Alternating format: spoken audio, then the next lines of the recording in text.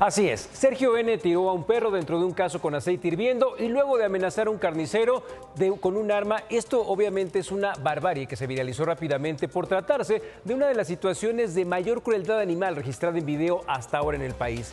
En menos de dos días, el responsable había sido detenido luego de que llegara a Palacio Nacional y Rosa Isela, eh, secretaria de Seguridad y Protección Ciudadana, anunciara la colaboración de la dependencia para hacer la búsqueda.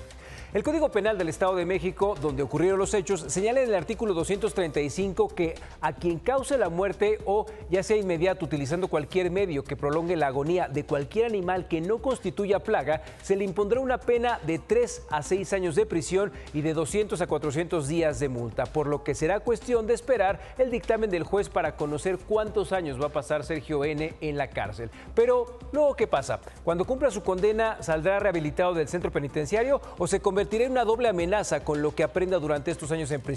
¿Alguien como Sergio N podría vivir en sociedad? ¿Qué está pasando en México con los altos niveles de violencia que hemos alcanzado? Entre narcoviolencia y violencia cotidiana, así como delincuencia, tenemos las herramientas para detectar cuántos Sergio N son psicópatas y cuántos podrían volver a convivir en paz.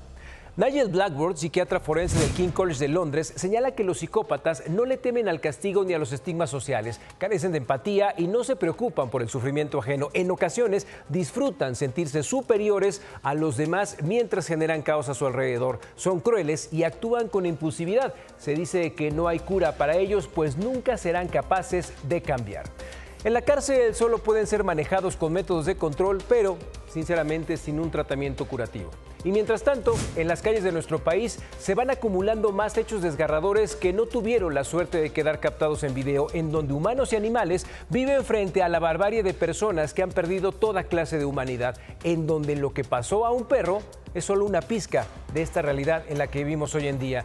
Y Marlene, manejas las redes sociales. Mucho. Y aquí, eh, con este caso, se hizo un eh, fenómeno muy interesante.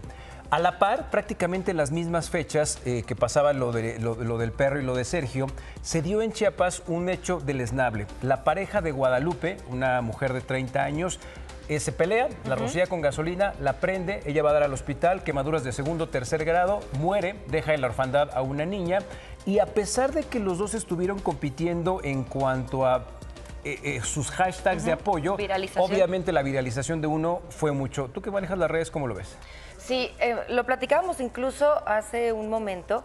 Me parece que el, tema de lo que sucedió con el perro es que es demasiado impactante el video que se compartió. ahorita se está dando mucho el auge de la protección de los animales. Las personas que se dedican a este tema de, buscar... pues sí, que se respete a los animales, honestamente son como mucho más intensas y más de seguimiento y, llaman mucho más la atención. Entonces, compartieron ese video, nos causó muchísima indignación a todos los mexicanos, pero sí, tienes razón.